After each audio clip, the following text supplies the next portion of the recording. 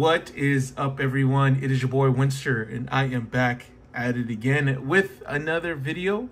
Today, we're going to be doing an undefeated deck profile of Illusion Chimera. I literally just got home. I saved my tournament pack winnings. I opened my entry pack. These are the packs that I ended up getting for going undefeated.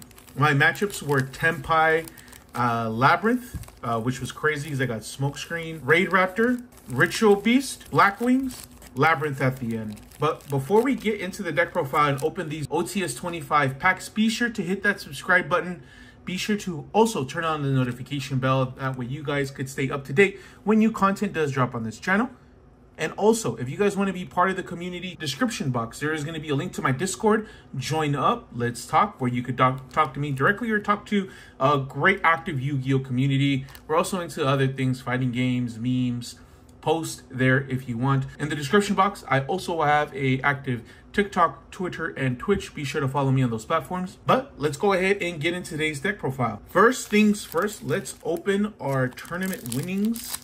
Uh, hopefully we could put an ulti. My girlfriend ended up pulling a Snake Eye Ash. Okay.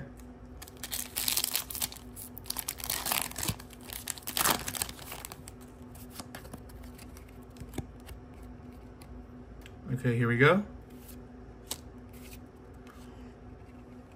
Let's go! We pulled Exodia the Forbidden One! Sheesh!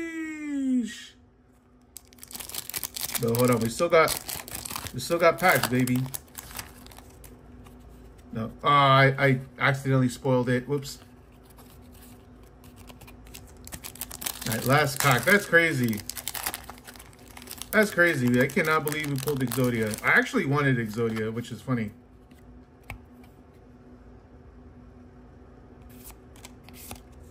Uh, Dynamundo. But we got the Exodia, the forbidden one. Let's go. So it's actually funny that I went undefeated with the deck because I have been working on a deck profile and refining it to make it better. And I've made significant changes to the extra deck and it's just been playing well. And the fact that I went undefeated just goes to show you how much it's improved the deck. Uh, but to get us started uh, with the main illusion engine, we play three copies of Nightmare Apprentice. This card is absolutely important. You need to play three uh, because its summoning requirement doesn't activate. And I think that's like one of the best things about it. And the search effect is freaking crazy. The fact that it's illusion is freaking crazy. It's just an, an amazing card. We play three copies of Nightmare Swords or Mirror Sword Knight. Uh, obviously, this card is super powerful. Uh, has great utilities to special summons from the deck. A monster that mentions Chimera Fusion, so it could be Baphomet or Gazelle. Um, and it's a quick effect, which is crazy, which could be used on your your turn or your opponent's turn. Usually on your turn, you just get the extra bodies in your hand, so you could fuse it once you have Chimera Fusion set. As another effect, negates the monster effect, which is crazy. Uh, and banishes from the graveyard or field as cost. I play three copies of Cornfield Coatl. Uh, I think this card is still amazing, don't get me wrong, because it's a searcher. Um, but uh, I could see where you only play two copies of this if you want to play like more board breakers or hand traps, but super great. Uh, has great targeting, and on top of that, it's a searcher for the strategy. Um, super good. And then we play three copies of Gazelle, the King of Mythical Claws. Phenomenal card, man. Uh, searches Gazelle or Chimera Fusion, or uh, or Chimera Fusion. And this thing is super good to go into because it doesn't lock you. Um, and all these other monsters that we just went over uh, Cornfield Coatl, Mirror Sword Knight, Nightmare Apprentice don't lock you into fusions, which is super impactful because you could do all your combos, go into maybe Little Knight, uh, go into Chaos Angel, uh, go into other extra deck monsters, and then go into your fusion monsters. Uh, because it's not like branded fusion, right? uh, where you get locked the whole turn if you want to activate it. You only get locked after you activate it. And the one that I'm talking about is Big Wing Baphomet, a super powerful card. Uh, you you definitely don't need to play three of this because it's kind of a brick because it's a level five and it's harder to summon. Um, but if you open the right hand, uh, sometimes what ends up happening, you can just tribute uh, after you use like polymerization, uh, tribute summon for it, and then get the effect, which I have done numerous amounts of time. But this is the only thing that locks you after it resolves uh, into fusions from the extra deck. And then I play the Dia Bells. Man, this card is absolutely broken. Walking anti-spell. It is so good. Um, the only thing uh, that comes up is that if you're calling their bluff, their bluff, right? But once this card is summoned onto the field, all cards, spell and traps that need to be activated needs to be set before you activate them. And we all know once you set a trap card or quick play, they're treated as traps and they have to wait a whole turn before you activate them. So this card helps you play around a full board, uh, helps you not play into poly, helps you not into play uh, imperm, evenly matched. This, this card came so clutch the whole it. Anytime I get it onto the field, it just helps so much. I want to get this as much as I can onto the field. Shout out to my girlfriend who pulled the QCR out of like three packs, which is crazy. And then we play one Master Tao, the Chanter. You only ever send this off to the graveyard to special summon usually Diabels, and then you're locked into illusion from the graveyard. Um, in other cases, you could special summon Mirror Sword Knight and then go off from there if it's like turn three uh, after you've already played. Uh, and then I played three copies of Chimera Fusion. Uh, this is one that you can change. You don't have to play three. I just want to have the ability to fuse as much as you can uh, with this deck. And the fact that you could add it back and then fuse again is freaking broken, uh, which sets powerful plays. Um, but anytime I go into game three or game two, I just end up signing one out and put in a board breaker, or you could just take one out entirely and play two and you'll just be fine uh, because it just has great recursion from the graveyard. And that is it for the illusion cards. I played three copies of Frightfur Patchwork. Um, I, I cannot explain how clutch this card is. At best, it just gives you the extra poly and you could just continue to combo. At worst, it's just an ash bait uh, because sometimes you just have enough fusion uh, to go off of. Uh, and that's why I ended up playing uh, three of the Chimera Fusion to have extra uh, ability to fuse. Uh, but this card is absolutely broken. The engine that I decided to go with is two Polymerization and then two Edge Imp Chain. I don't ever find the need to play more of either one. two is perfectly fine. With the three ratio of Patchwork, you should see Patchwork over these and then be able to combo off. But uh, this card, alongside Nightmare Apprentice, is freaking broken because you discard this uh, to the graveyard. Special summon Nightmare Apprentice, uh, chain one Apprentice, chain two Edge and uh, Edge Imp chain, and then search the backward, and you still have another poly to go off, which is freaking broken. Onto hand traps slash board breakers. This is probably the biggest change in the whole deck. When I was originally playing, I was playing branded. Like, not that it's bad or not really needed. Uh, a lot of the time, you'll just be able to OTK your opponent which happens pretty consistently. Uh, so I decided to take the branded engine out. I play three Ash Blossom and Joyous Spring. Uh, it goes without saying how powerful this card is. I played three Ghost Ogre and Snow Rabbit. I think this card is super great, especially since Tenpai is running around. You get rid of their field spell, and then they can't. You could still negate all their monsters on the field. And then I played three copies of Infinite Impermanence. Uh, just another great hand trap. Again, the ability to fight back, other than just being able to establish a board, is really important. And Illusion Chimera uh, does have uh, problems breaking boards, so just stopping your opponent at important parts with hand traps or board breakers is a lot better than playing the branded engine, in my opinion. I am playing uh, three copies of triple uh, Tactics Talents. Uh, you get hand trapped a lot. Uh, Droll is super impactful. Nibiru, Ash, given you have a lot of ways to like play through uh, hand traps, which is freaking crazy. Uh, but triple tactics talents uh, is phenomenal. Worst case, you side two out. Uh, going second and play whichever uh, side cards you need in the matchup. It's so funny. I never even drew the card. Uh, super polymerization. this card goes without saying. It's just a phenomenal card.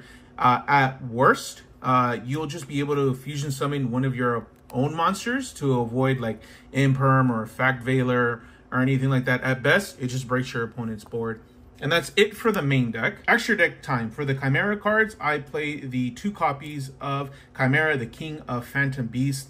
Absolute phenomenal card. Realistically, you only ever need to play one uh, because game shouldn't go to where you would need to summon a second one. Um, so you can make some extra deck space there.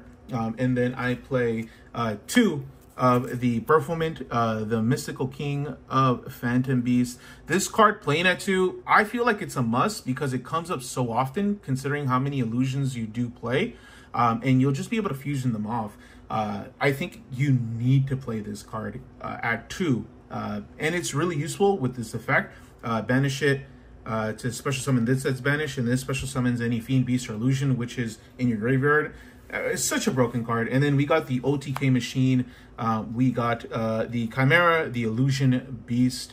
Uh, when this thing battles, uh, it makes that monster zero attack and its effects are negated. And because it's an illusion monster, it cannot uh, destroy the monster that it's attacking or destroy itself. So you'll swing, uh, take the difference in damage, and then on top of that, uh, you will now make that monster to zero and then swing two, three more times and then they won't be destroyed and then swing with an extra monster and then that's game. That has happened so often, such a broken card. We got fusion support monsters that work really well with this deck but aren't necessarily illusion monsters or chimera, uh, but they just work really well. We play the one Dragostapelia, goes without saying how powerful this is. Put a counter on something and negate its effects, and it's a 2800 monster, which is pretty big. We play the one Guardian Chimera, just phenomenal card. Usually they play this at two, or you can at least. Um, I never really find the need to go into another copy. Uh, and if I do, I probably fuck that game up, honestly. Um, but you can play two of this, but I only ever use one. And then we got Magnum the Reliever. This thing is a fiend, uh, just phenomenal. So it works like Chimera Fusion, and so does uh, Guardian Chimera. Uh, but this gives you an extra draw by putting a polymerization or fusion card at the bottom of the deck. And then when something's activated, pop a card uh, by banishing a fusion or poly from the graveyard. Uh, super poly targets, we got Mud Dragon of the Swamp, and then we got Garura. Phenomenal cards. I think the best super poly targets right now. And then miscellaneous extra deck monsters, we play the one Typhon. Uh, this card is just freaking broken. Um, at best, you're going to go ahead and just shuffle a monster out of the field. At worst, your opponent won't be able to activate, and they'll have to waste their battle phase to get over this guy. We play Evil Czar Lars. Now, I personally wasn't a believer of this. Uh, but I ended up ending on this Imperm Super Poly Ash, and my opponent had to play through all of that, which is freaking crazy. So they weren't able to do this. And then you usually use Apprentice Magician and the level six uh, King of Mythical Claws, the fusion monster, uh, detach, and then you usually have Chimera monster in the graveyard, banish it, special summon a monster, banish the other level six, to special summon the Banished Chimera monster, which is freaking crazy, man. Um, super, super powerful card. And then we play the one Chaos Angel. Man, I I cannot begin to explain how good this card is in this deck. It's just so powerful. It's unaffected, and then monsters can't be destroyed by battle, which is freaking crazy.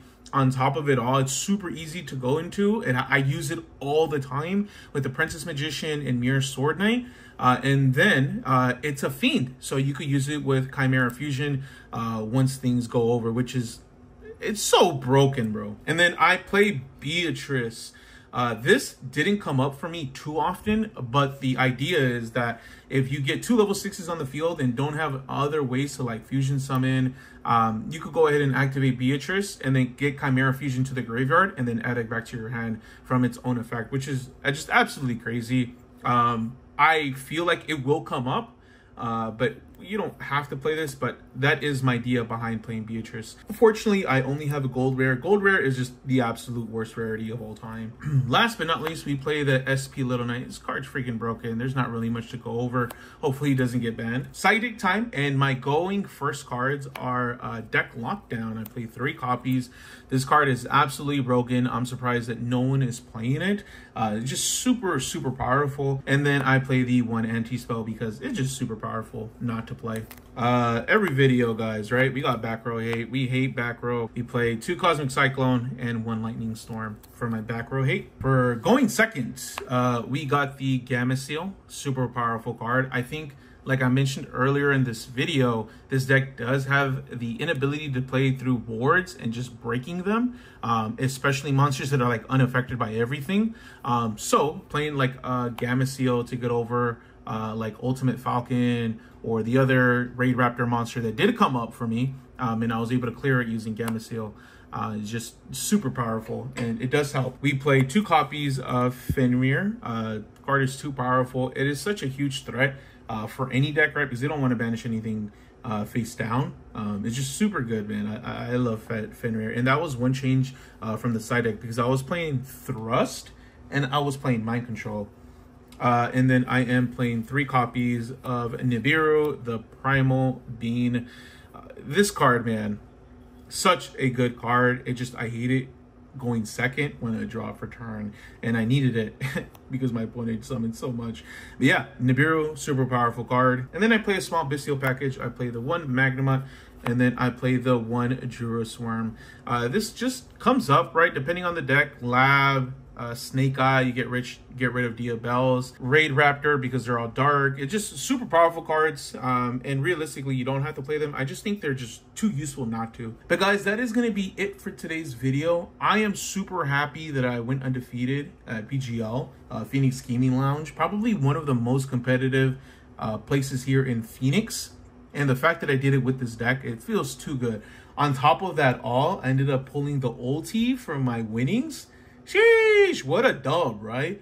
Um, so I'm super happy about that too. But leave it in the comment section. What do you guys think of the deck profile? Do you guys are you guys trying to play Illusion Chimera? What do you guys think of my build? What am I missing? What am I not? Let me know in the comment section, guys. Do not forget to like, comment, and subscribe. Turn on the notification bell. Check out the description box. Until next time, my name is Wenster. You guys have a phenomenal day.